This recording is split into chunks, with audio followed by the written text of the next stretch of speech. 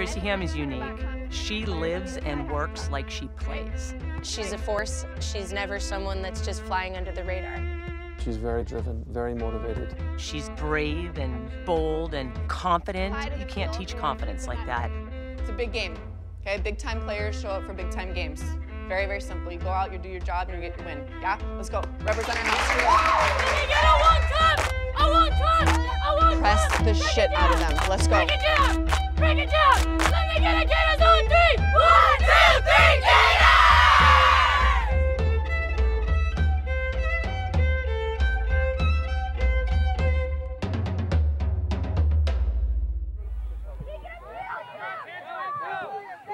foot, Tracy.